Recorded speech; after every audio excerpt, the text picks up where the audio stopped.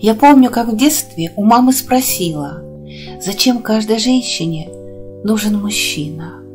Ответ я надолго запомнила маме, а смысл меж строк поняла лишь с годами.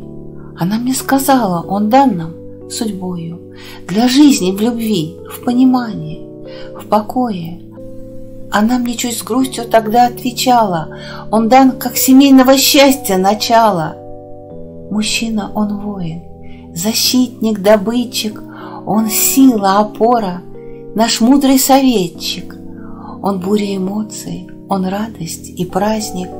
Мужчина, он нежен, он ласков и страстен.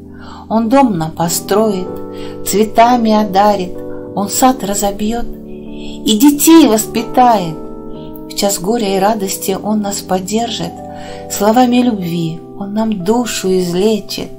В беде Он плечо нам подставит мгновенно, Он жизнь наполняет нам счастьем безмерно. И лишь повзрослев, стала я понимать, мужчина нам дан для того, чтобы мечтать.